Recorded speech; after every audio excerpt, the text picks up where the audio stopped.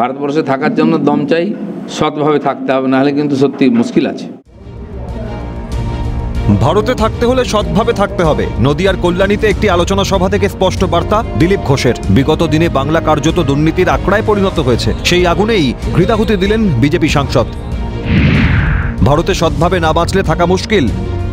অপরাধীন স্বচ্ছ ভারতের অন্যরকম বার্তা ভেসে উঠল দিলীপ ঘোষের মুখে। কে কোথায় থাকবে? অনেক লোক পালিয়ে গেছে। যাবে? কি আছে?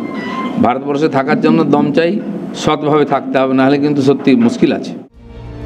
এগড়াকাণ্ডের পর মর্মান্তিক নীলগঞ্জের সাক্ষী হয়েছে বাংলা। বারবার বোমা বারুদ উদ্ধারের নির্দেশ এলেও থোড়াই কেয়ার। পুলিশ বারুদের স্তূপ চাপা দিতে তৎপর। রাজ্য প্রশাসনকে কাটমানিচ্ছ বলে বিদলেন বিজেপি সাংসদ। পুলিশ তৎপর হয়েছে চাপা দেওয়ার জন্য। যে বাজিগুলো তৈরি হয়েছে অবৈধভাবে সেগুলো যেন বাজারে গিয়ে বিক্রি হয়ে যায় কারণ তারা কাটমানি খেয়ে দিয়েছে সেখানে তৎপর হয়ে সেগুলো চাপা দেওয়ার চেষ্টা করছে। কিন্তু এই চাপা দেওয়ার জন্য কত লোকের প্রাণ যাবে এটা কেউ জানে না। যে কোনো জায়গায় এরকম ঘটনা ঘটতে পারে। চব্বিশকে মাছের চোখ করে অর্জুন হয়ে উঠতে চাইছে বিজেপি বিরোধী জোট। নরেন্দ্র মোদীর সামনে দাঁড়ানোর মুখ ঠিক করতেই নাজেহাল। বিজেপি বিরোধী আইএনডিআইএ জোটকে নিশানা দিলীপের।